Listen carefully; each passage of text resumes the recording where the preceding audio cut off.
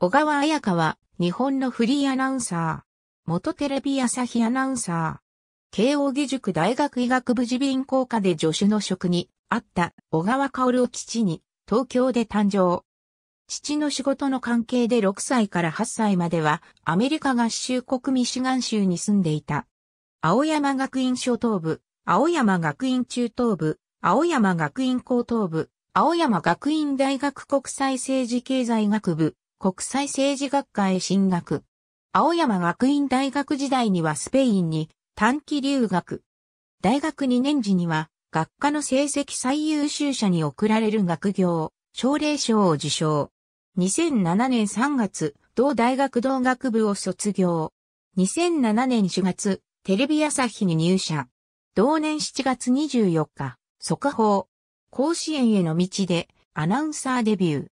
2011年4月4日から前任の市川博子に代わって報道ステーションの3代目サブキャスターを7年半担当。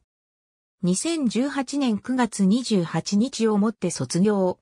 2018年10月からインターネット配信、アベマ TV においてニュースチャンネルアベマヌズの帯番組、アベマプライムのキャスターに就任。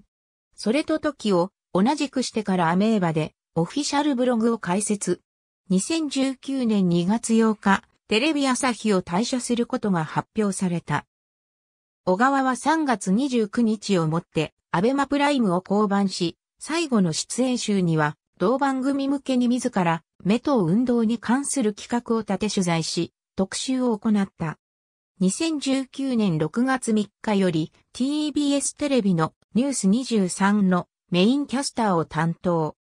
2020年2月28日、第一子妊娠を公表し、同年6月29日には、ニュース23のツイッターで、同週いっぱいでの産休入りを発表し、7月3日の同番組の最後で挨拶を行い、7月29日に第一子を出産し、産休終了後の10月19日にニュース23に復帰。